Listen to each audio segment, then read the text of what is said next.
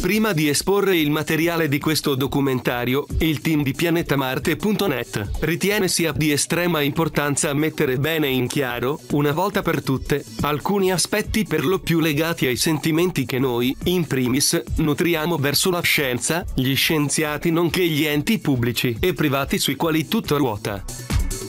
Per prima cosa, noi amiamo profondamente le scienze dello spazio perché queste sono il nostro pane quotidiano. Senza di esse, tutto il nostro operato non potrebbe esistere e non avrebbe il benché minimo fondamento.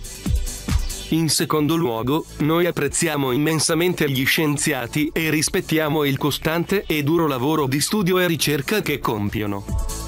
Senza di loro non potremmo muoverci nemmeno di un passo, perché saremmo privi di adeguati metri di paragone, nozioni specializzate, formule, equazioni, diagrammi e schemi su tutto il settore dell'astrofisica e in special modo sulle scienze planetarie. Terzo punto, noi siamo sicuramente affezionati alla NASA come anche all'ESA, senza però togliere meriti agli altri enti spaziali, ma non possiamo negare che la NASA sia nel nostro cuore più di altre. In fin dei conti, siamo cresciuti seguendo le loro imprese spaziali. Conosciamo i successi, gli insuccessi e conosciamo il dolore delle tragiche vicende dell'Apollo 1, degli Space Shuttle Challenger e Columbia e la tensione sul filo del rasoio della missione Apollo 13.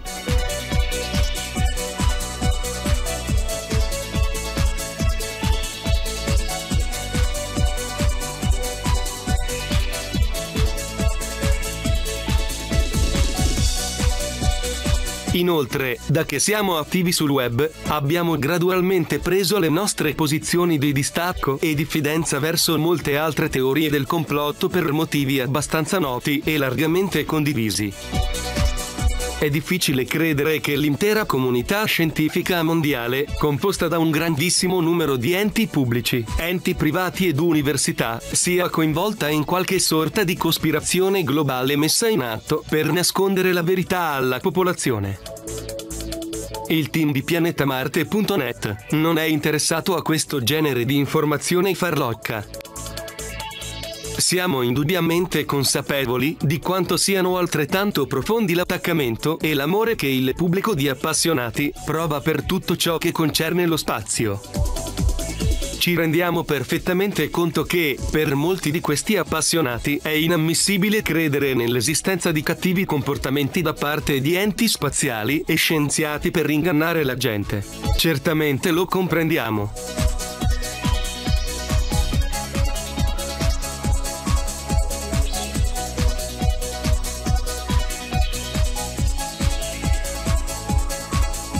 Siamo consapevoli che molti appassionati darebbero l'anima, pur di restare saldamente ancorati alla loro devozione e fiducia, verso tutto ciò che rappresenta sogni, ideali ed eroi di tutta una vita. Abbiamo ormai constatato quanto sia profondamente radicato il senso di disgusto che questa moltitudine di appassionati prova verso il solo pensiero che qualche illustre scienziato o membro della NASA o dell'ESA possa mentire su qualche aspetto, fosse anche di scarso rilievo. Fra tutte, la peggiore sensazione da noi maturata è che chiunque osi mettere in discussione diventa un soggetto potenzialmente negativo. Sembra proprio che la parola complottista non abbia più il classico significato come da vocabolario, ma comprenda pure tutti coloro che, nel bene e nel male, si permettono di mettere in discussione.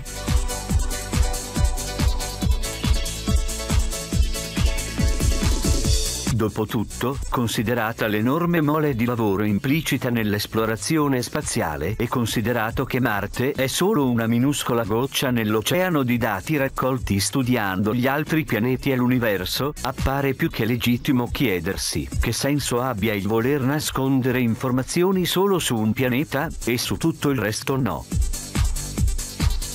Tempo fa, uno degli amministratori di un gruppo Facebook che si occupa di geologia planetaria e astrobiologia ci aveva posto una domanda non da poco.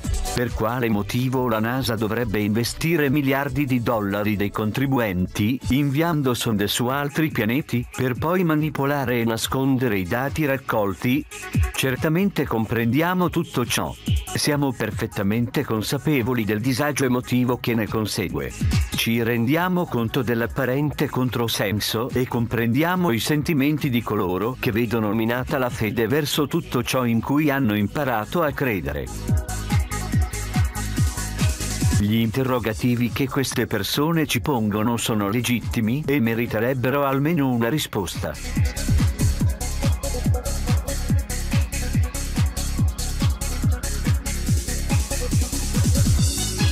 Ma la scienza è un costante e continuo mettersi in discussione. Nella scienza non c'è posto né per il sentimentalismo e nemmeno per la cieca devozione. La scienza richiede freddezza di spirito e razionalità sempre e comunque. Di conseguenza, nessuno scienziato e nessun portavoce dei vari enti spaziali è infallibile.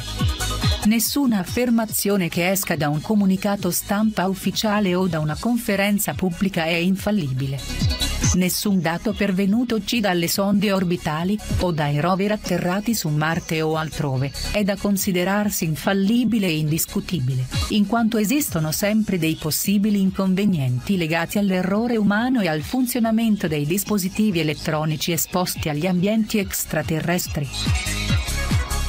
Il team di pianetamarte.net non è interessato alla ricerca di complotti e non è altrettanto interessato a partecipare alle ridicole dispute ideologiche fra complottisti e anticomplottisti.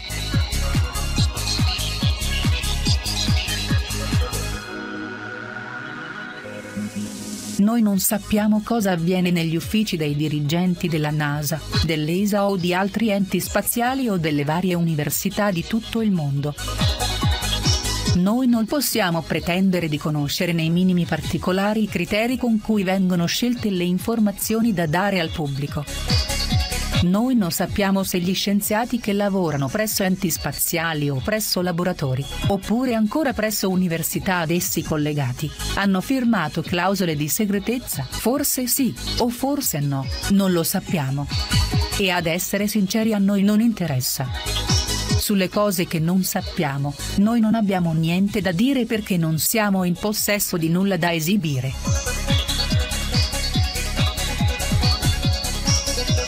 Ma nelle cose che sappiamo e che possiamo liberamente esibire al pubblico, in tal caso, sì, noi parliamo.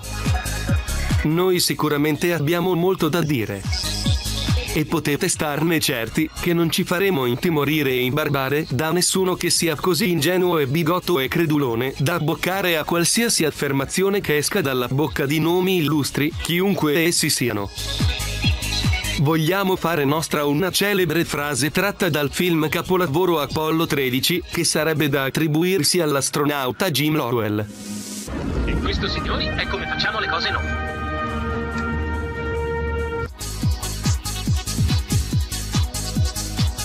L'argomento affrontato in questo documentario è estremamente interessante e altrettanto importante.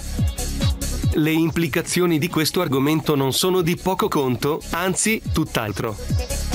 Quindi, lo diciamo con tutto il cuore, a tutti quelli che sono davvero appassionati di Marte, di scienze planetarie e di astrofisica. Non abbiate paura di mettere in discussione ma fatelo con buon senso e in modo pragmatico e intelligente. Mettete pure in discussione anche le nostre affermazioni. E adesso godetevi il documentario.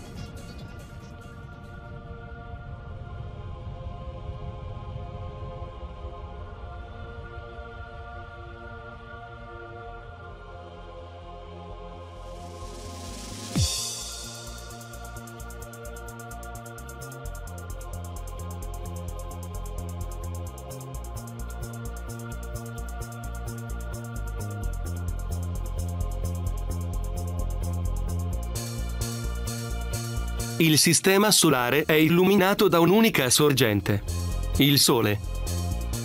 Nei diversi corpi celesti che vi orbitano attorno, l'unica cosa che cambia, al variare della distanza dalla nostra stella, è la relativa luminosità apparente, non di certo il colore. Nel caso di Marte, il terreno e gran parte delle polveri fini sono di colore ocra con sfumature assortite di rossastro, arancione e marrone. Ciò non di meno, le polveri in sospensione possono al peggio ridurre l'intensità luminosa diurna, ma non sono in grado di filtrare un colore specifico, in quanto le polveri hanno la prerogativa di riflettere o bloccare la luce. Il problema legato alla differenza dell'intensità luminosa è senza ombra di dubbio un falso problema, perché questa viene facilmente compensata agendo sul tempo di esposizione della foto. Anche sulla Terra si sperimentano condizioni di illuminazione molto diverse, a seconda che ci si trovi in ombra, piuttosto che al sole, oppure in una giornata soleggiata piuttosto che nuvolosa.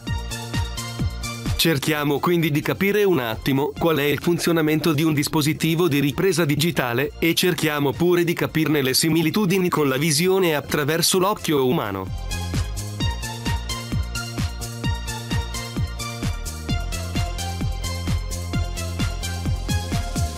L'occhio umano è straordinariamente versatile ed è adattabile a diverse condizioni di illuminazione.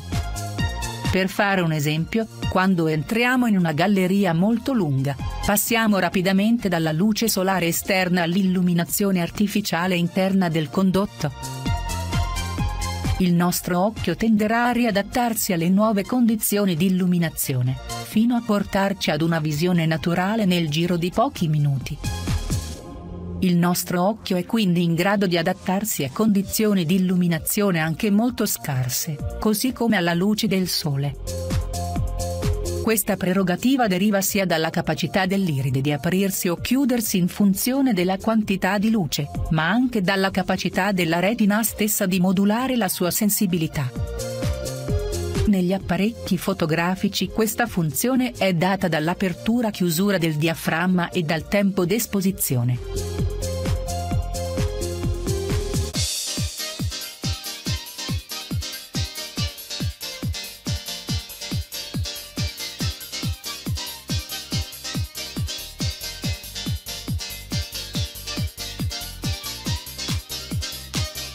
Un'altra capacità interessante del nostro occhio è quella di compensare le diverse dominanti cromatiche dovute al tipo di illuminazione, fino a riportarci ad una visione naturale dei colori, anche nel caso di forti sbilanciamenti cromatici. Ad esempio, se provassimo ad indossare degli occhiali da sole colorati, come quelli rossi o gialli, vedremmo inizialmente tutto dello stesso colore, ma dopo qualche minuto il nostro occhio riprenderà a distinguere i diversi colori, compensando completamente lo sbilanciamento cromatico nel giro di un'ora.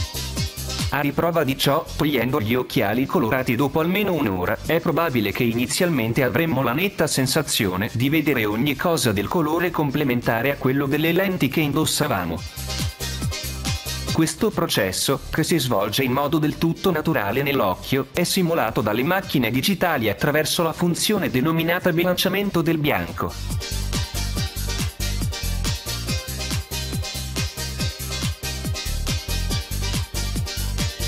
Come dimostrato nella visione diretta al telescopio, l'occhio umano è in grado di distinguere i colori eventualmente presenti sul disco apparente di tutti i pianeti osservabili.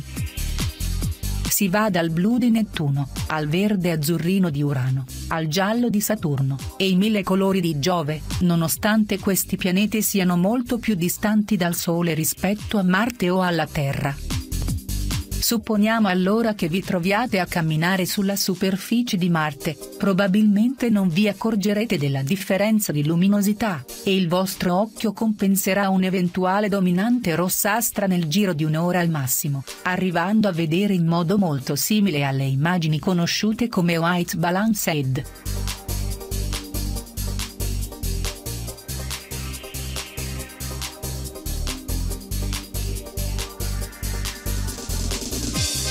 Rimanendo fedeli ai dati ufficiali, prendiamo in considerazione un altro aspetto molto interessante di questo documentario.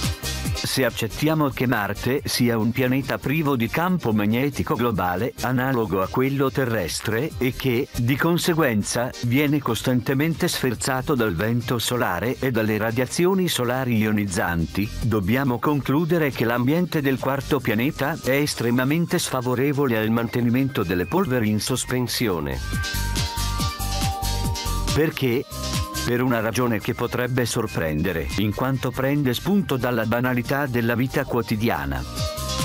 Molti di noi, per motivi diversi, avranno avuto modo di sperimentare come gli ionizzatori d'aria domestici, una volta messi in opera, provocano l'abbattimento delle polveri in sospensione nei locali soggetti alla loro azione. Similmente, nell'ambito dello sviluppo fotografico tradizionale e fra gli amanti dei cari vecchi dischi in vinile, sono molto famose le pistole spara-ioni, le quali, tramite un flusso di ioni, allontanano efficacemente le polveri, evitando il contatto diretto con la superficie interessata, nel qual caso la carta fotografica e i minuscoli solchi del disco in vinile. Questo ci insegna che le polveri tendono a fuggire dagli ambienti ionizzati. Tale effetto si osserva anche su vasta scala nel nostro pianeta durante i periodi di fortissima attività solare. Certe radiazioni ionizzanti del Sole provocano infatti una diminuzione della quantità di polveri in sospensione nell'atmosfera, il cui effetto si ripercuoterà negativamente sulla formazione delle nubi, in quanto la polvere serve come nucleo di condensazione per la formazione delle nubi stesse. Si provoca così una riduzione delle precipitazioni correlata ai forti picchi di attività solare. Anche l'intensa attività elettrica che caratterizza i temporali contribuisce sensibilmente all'abbattimento delle polveri in sospensione. Alla luce di ciò bisognerebbe avere la forza e l'onestà intellettuale per decidere se credere che Marte sia un mondo perennemente polveroso oppure un mondo costantemente tempestato dalle radiazioni ionizzanti, considerato che le due cose sono in totale antitesi fra loro. Detto in parole povere, in un ambiente ionizzato non possono sussistere le polveri in sospensione. Vorremmo inoltre ribadire che, in un pianeta la cui dominante cromatica è costituita da una luce rosso-arancio, dove le radiazioni con frequenza maggiore del verde sono state pressoché soppresse, risulta poco credibile pensare alla presenza di radiazioni ionizzanti, questo perché esse stesse saranno già state abbattute. Così, se da un lato appare poco credibile la presenza di radiazioni ionizzanti, anche la permanenza di polvere in sospensione rimane certamente insostenibile. Una quantità di polvere in sospensione, capace di produrre una diffusione luminosa superiore alla luce diffusa dal gas stesso che la sostiene, è impossibile. Non è fisicamente ammissibile che una piccola quantità di gas possa mantenere in sospensione una quantità di polvere la cui massa è nettamente superiore a quella del gas stesso e per di più in assenza di venti straordinari, addirittura supersonici.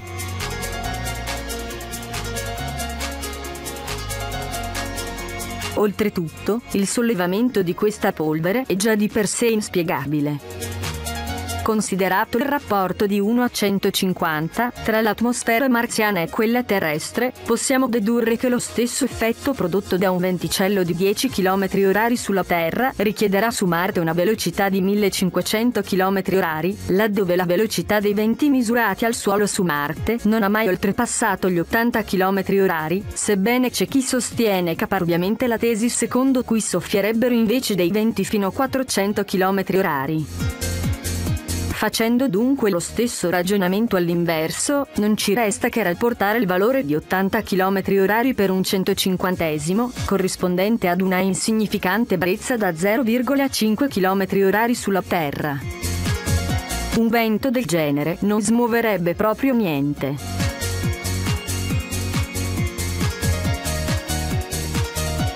La versione ufficiale rimane comunque legata al fatto che la luminosità del cielo marziano dipenda quasi totalmente dalle polveri in sospensione.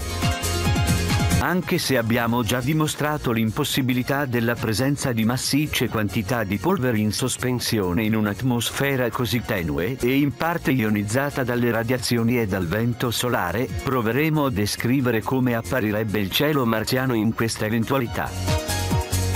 Le particelle di polvere in sospensione si mostrano maggiormente illuminate in direzione opposta al Sole, mentre nella direzione del Sole mostrano per lo più il lato non illuminato. Questo fa sì che la luce diffusa sia più bassa in direzione del Sole, crescendo via via, man mano che ci si allontana angolarmente da esso.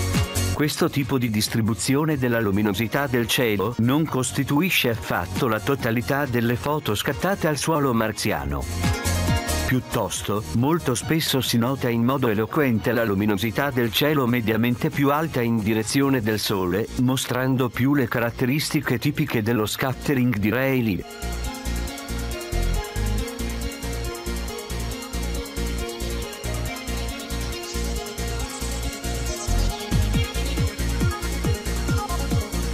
Analizzando attentamente la distribuzione della luminosità del cielo di Marte si è portati a concludere che, sebbene possa essere presente una modesta quantità di polvere in sospensione, la maggior parte della diffusione luminosa è da attribuire ai gas piuttosto che alle polveri.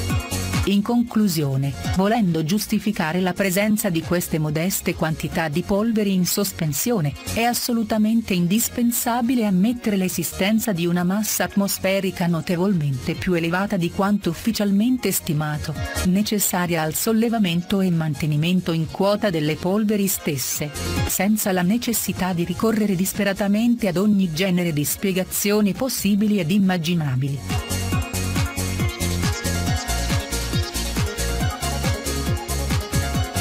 Appurato che gran parte della diffusione luminosa del cielo su Marte è da attribuirsi ai gas e non alle polveri, rimane ora il grosso problema di giustificarne la sua notevole luminosità.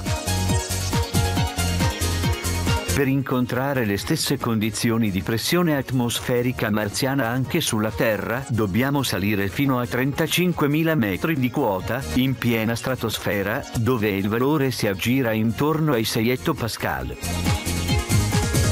Osservando il cielo terrestre da questa altitudine, come è mostrato da parecchie immagini e filmati reperibili sul web, esso ci appare completamente nero e l'aria quasi totalmente priva di polveri. Con un tale livello di rarefazione atmosferica, l'occhio umano non è in grado di percepire alcun tipo di luminosità diffusa dai gas e dalle polveri perché ridotti a quantità trascurabili. Stando alle deduzioni tratte fin qui, siamo finalmente in grado di rivedere le foto al suolo di Marte e sotto un'altra luce, ovvero quella più coerente alla realtà.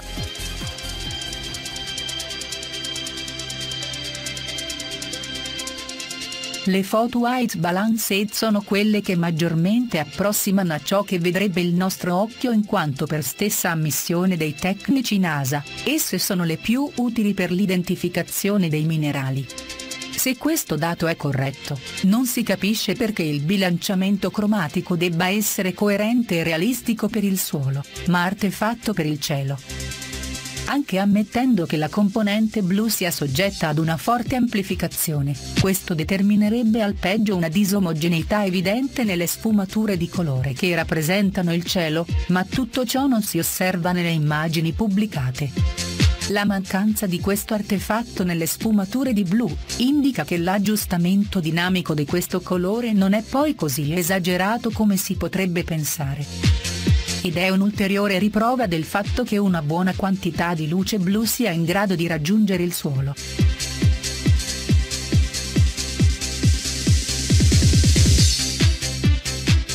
Le immagini white balanced sono a tutti gli effetti le migliori rappresentazioni di ciò che vedremmo se fossimo realmente lì, magari indossando un casco con visiera trasparente. Per quanto riguarda le cosiddette foto natural color, spesse volte definite come RAW negli archivi di Curiosity, bisogna chiarire che, per specifiche esigenze scientifiche, è stato scelto di non dotare le fotocamere del filtro taglia infrarosso, normalmente presente in tutte le fotocamere e webcam digitali presenti sul mercato. Questo perché le fotocamere installate nelle sonde atterrate su Marte devono avere la possibilità di fotografare anche nell'infrarosso, ovviamente per importanti scopi scientifici.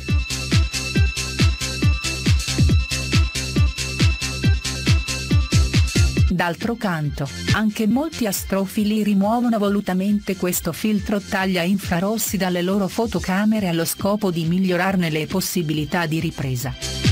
Ma come mostrato da questi stessi astrofili, tale modifica altera notevolmente la resa cromatica delle foto normali, le quali mostreranno una forte componente rosso-arancione, esattamente come le immagini marziane RAW e Natural Color. Quindi, le foto tipicamente rosso-arancione, etichettate nei siti NASA come RAW e Natural Color, in realtà sono prodotti pesantemente inquinati dalla componente infrarossa, che invece avrebbero richiesto una particolare elaborazione per garantire un minimo di attendibilità riguardo la rappresentazione dei colori reali. Ecco perché i geologi hanno soprattutto bisogno della versione white balance e non delle RAW e Natural Color. Ed ecco anche perché la versione White Balanced è anche l'unica che si avvicina ad una rappresentazione dei colori simile a come la percepirebbe il nostro occhio. Dall'insieme di tutte queste approfondite considerazioni tecniche, appare molto più credibile una colorazione blu-azzurra del cielo marziano piuttosto che la classica versione rosa confetto, portandoci ancora una volta a concludere che la massa atmosferica, cioè la pressione e la densità dell'aria, è molto più alta di quanto indicato dai valori generalmente accreditati.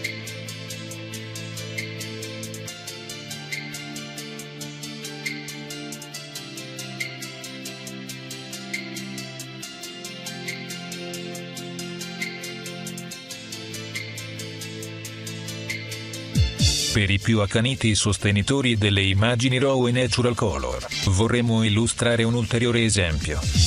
La capacità di adattamento del nostro occhio alle diverse condizioni di illuminazione ha un significato evolutivo ben preciso. Questa capacità infatti ci permette di identificare il vero colore di un oggetto, a prescindere dalla dominante cromatica della sorgente di luce che lo illumina. Essa è importantissima nell'identificazione visiva della natura degli oggetti che ci circondano. Se noi prendiamo un foglio da disegno bianco e lo osserviamo in piena luce solare, ci apparirà ovviamente bianco. Ma ci apparirà altrettanto bianco anche se lo osservassimo nella luce rosso-arancio del tramonto, oppure illuminato da una lampadina ad incandescenza.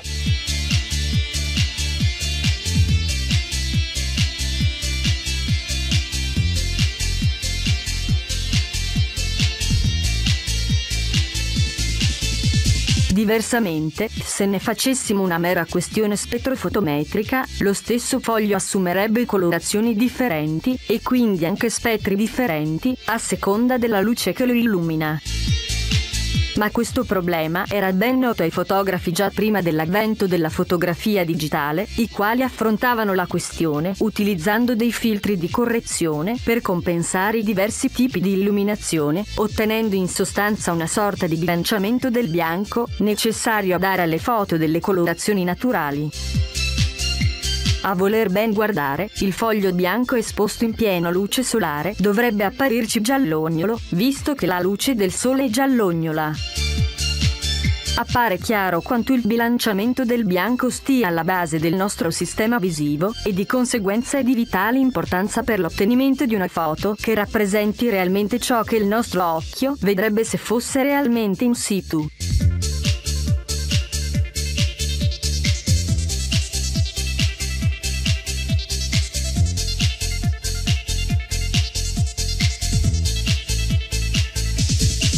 Nessuna asserzione che contraddica spudoratamente ciò che invece la natura ci mostra può vantarsi di credibilità. Anche se proveniente da personaggi in possesso di altisonanti titoli accademici o istituzionali. Per rendere l'idea con la massima semplicità, pensiamo all'indicatore di temperatura di un freezer pieno di prodotti che si sono scongelati ma che ci restituisce un valore di meno 18 gradi. A chi crederemmo? Ai dati rilevati oppure alle conseguenze di ciò che stiamo osservando?